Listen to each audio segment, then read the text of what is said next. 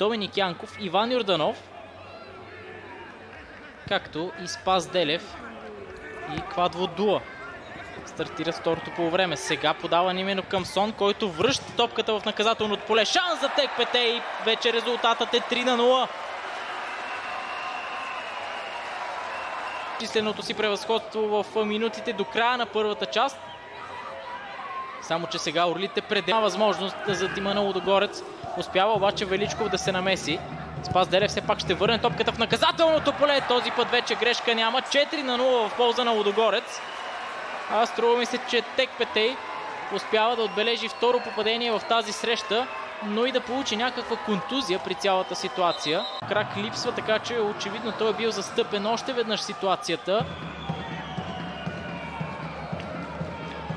Подаване на Спас Делев и няколко играчи на Лудогорец успяха добре да се измъкнат. Тук Георги Александров бе човекът, който не успя да противодейства и, и очевидно човекът, който е застъпил Тек Петей.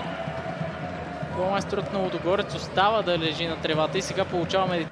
Треньор ще бъде Елена Пеева с помощник Стефан Дончев.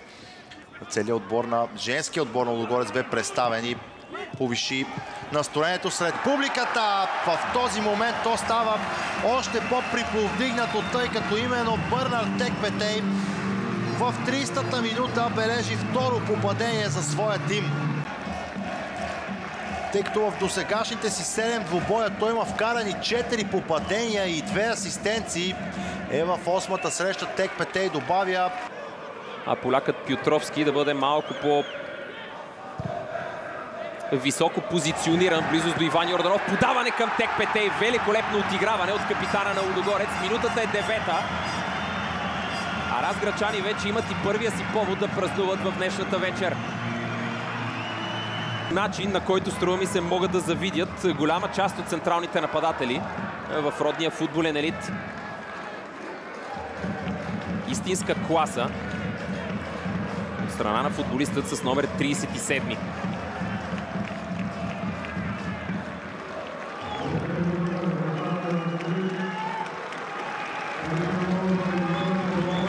В един от първите моменти, при които Якоб Пютровски се изтегли в близост до двамата централни бранители, имаше достатъчно време и пространство, за да забележи нахуващия Бернар Текпетей.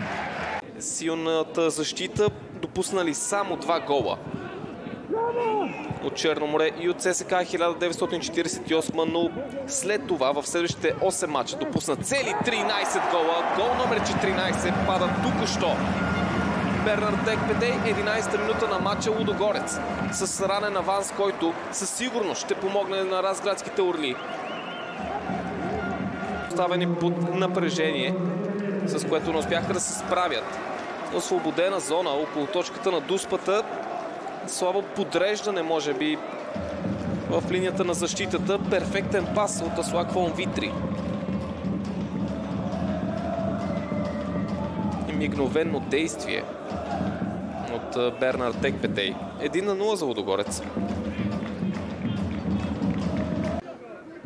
които биха могли да ни донесат а, изпълнение на този пряк свободен удар. Неделев! Великолепно изпълнение! Изключително красив гол. Това е, уважаеми зрители, Тодор Неделев. 2 на 0 за Лудогорец, 32 минута, виртуозно изпълнение за бившия футболист на Ботев Пловдив. Всички тези негови усилия се оказаха недостатъчни. Тодор Неделев е един от най-големите майстори на подобни изпълнения в българския футбол и Тодор Неделев ни демонстрира цялата класа, която притежава неговия ляв крак в тази ситуация говорим. Освен за отбори с а, различно самочувствие, той за такива.